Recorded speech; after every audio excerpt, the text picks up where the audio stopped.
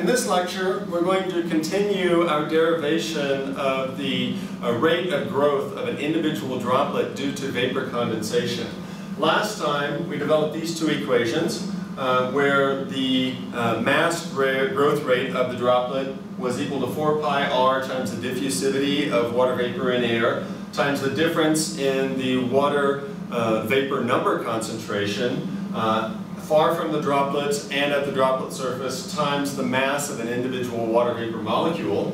And in this equation, the growth rate of the droplet is equal to 4 pi r times the diffusivity times the difference in the density of water vapor far from the droplet minus the density at the droplet surface. Um, if we recall that the uh, saturation vapor pressure from the ideal gas law, E uh, alpha V is equal to R sub VT, uh, the specific volume is 1 over the density of the vapor. You solve for the density of the vapor. Um, you get that equal to the vapor pressure divided by R sub VT. You make that transformation. You can have a third form of this equation. dm dt is equal to 4 pi rd over R sub times the uh, vapor pressure far from the droplet minus the vapor pressure at the droplet surface. We can make use of the uh, idea that our droplets are spherical, which is a very good assumption for cloud droplets. In a spherical droplet, the mass of the droplet is equal to 4 thirds pi r cubed, which is the volume, times the density of liquid water.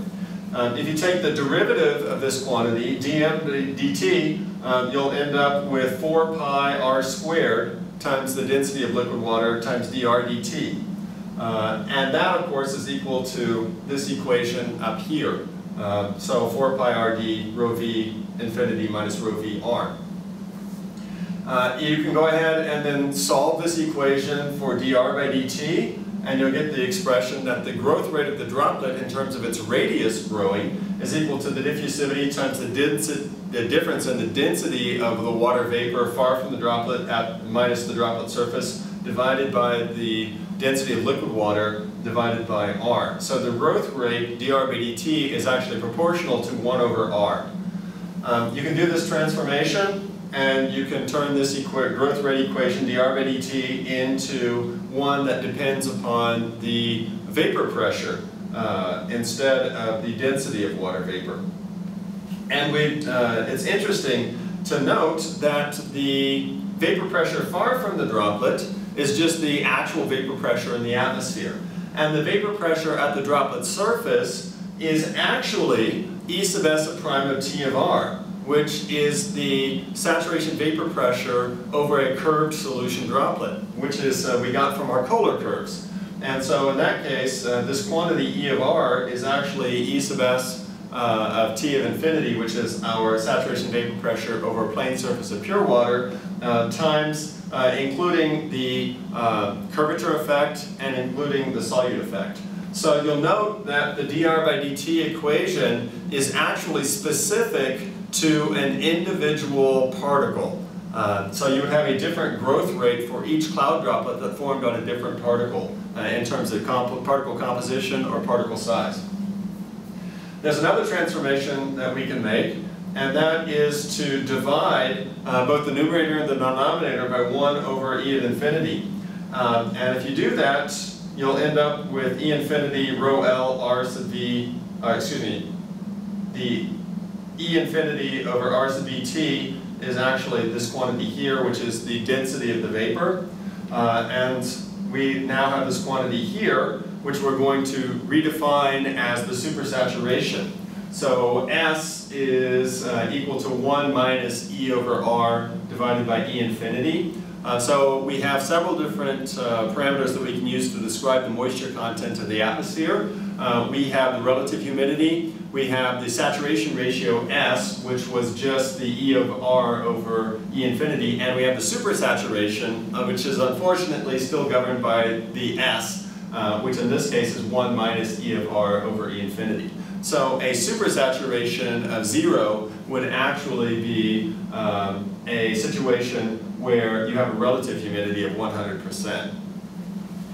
And so you can do that transformation um, and you'll get the dr by dt uh, is equal to the diffusivity of water vapor times the density of water vapor far from the droplet divided by the density of liquid water times the supersaturation, the 1 minus E over R uh, divided by E infinity. And you can do that same transformation to the dm by dt equation, and you'll end up with this expression where the growth rate of the droplet in terms of mass is equal to 4 pi rd times the density of the vapor far from the droplet times the supersaturation.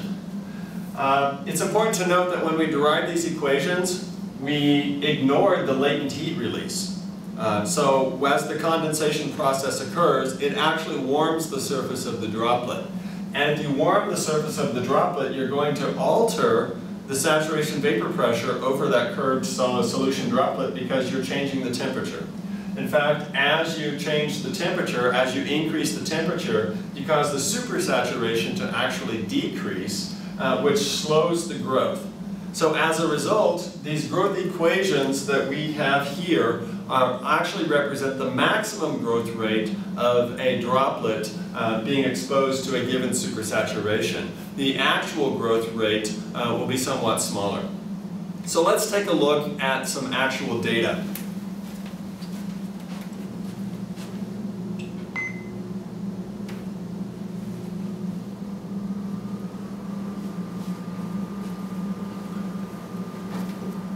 And the figure that's about to show up here on the screen is actually the growth rate in terms of mass and the growth rate in terms of radius of an individual droplet uh, that is subjected to a given supersaturation. So to orient this, uh, we have mass on this axis on a log scale, and we have time on this axis, uh, which is also on a log scale. Uh, so the radius is going from essentially 30 microns up to 300. Uh, the mass is uh, in terms of micrograms. Uh, just for reference, uh, a 30 micrometer radius droplet would be a you know, common cloud droplet size. 100 micrometer would be the beginning essentially of drizzle uh, 1,000 micrometer uh, droplet, uh, that would be a one millimeter droplet, that would be a small rain droplet. So what we have is it does not take very much time in order to get to uh, 30 microns uh, inside the droplet. Um, so time moves very fast and you end up with a 30 micrometer droplet. But in order to grow that droplet by vapor condensation from 30 microns up to 100 microns, uh, which is essentially kind of the beginning of your drizzle, uh, kind of, you know, in this region, uh, takes a very long time on this log scale. So the growth rate of your droplet at first is very large, uh, and then that growth rate in terms of the radius actually slows down quite a bit. And the analogy that I have here is trying to make a, a large ball of twine. Um, at first, you grab a tennis ball, you grab some uh, twine, and you start wrapping it around, and you're adding mass to this ball, and, and the radius is growing very quickly. Uh, but soon, after that radius gets large, the amount of twine that's required in order to grow the radius of this ball becomes significantly larger. And so the growth rate actually decreases significantly at that point.